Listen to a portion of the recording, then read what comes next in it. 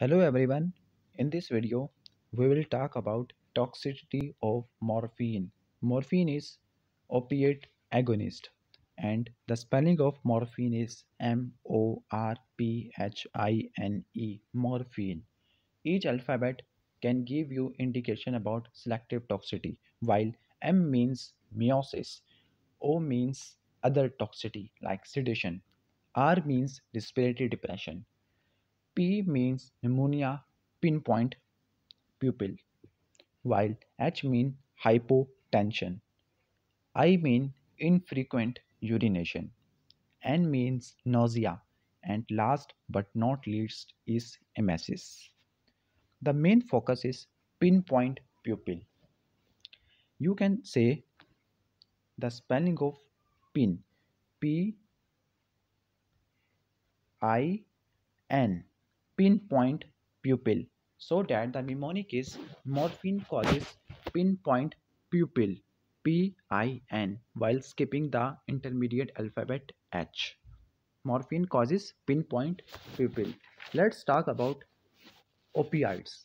Opioids include agonist, mixed agonist, antagonist, and some proper antagonist. These are opioids. Agonists include fentanyl, morphine, which further include oxymorphone, hydromorphone, methadone, meperidine, heroin, codeine, propoxyphene, while mixed agonist antagonists include nalbuphine, uh, buprenorphine, tramadol, tapentadol, while antagonists include older class which include naloxone, nalmefene, naltrexone, while newer antagonists include methyl naltrexone, alvimopan. Last but not least, antitussive, which are used for cough suppression, include codeine, dextromethorphan. These are all about opioids and the toxicity of opioids. What are the clinical uses of opioids? First is analgesia, second is cough suppression, Number three is treatment of diarrhea. Number four, management of acute pulmonary edema. Number five, anesthesia. Number six, this is not a clinical use, while we can say some sort of clinical use, opioid dependence. For analgesia, for analgesia, opioids are used for suppression of pain, treatment of moderate to severe pain, that is in fractures, that is in cancer's pain. Okay. In the acute setting of treatment of pain, strong agonists are used which are given parenterally. Parenterally. The strong agonists include fentanyl and morphine which are given parenterally. That is that means skipping of enteric circulation.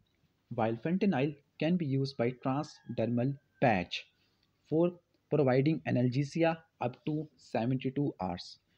For less severe pain and chronic setting, moderate agonists are used, sometimes in combination with NSAID acetaminophen. For the cough suppression, drugs include codeine, dextromethorphan. These are used over-the-counter drugs. That means without any prescription used worldwide. Treatment of diarrhea, which include diphenoxylate, loperamide. For the management of acute pulmonary edema, morphine is used. Morphine is used because of its hemodynamic actions. For anesthesia, opioids are used as pre-operative medication and intraoperative adjunctive agent in balance anesthesia protocol because opioids are included in general anesthesia.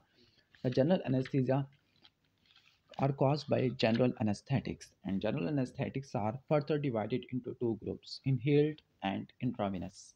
Inhaled are further divided into two groups gas nitrous oxide and volatile liquid including halothane while intravenous include barbiturate which include thiopental thiamycin and methoxy sorry methoxytal while dissociative include ketamine which block NMDA receptors while miscellaneous include etomidate, propofol. opioid agonist use including fentanyl, morphine, and last but not least is benzodiazepine including midazolam. This was all about morphine and general anesthetics. Hope you have liked our video. If this, please subscribe this channel. Thanks for watching this video. Stay tuned.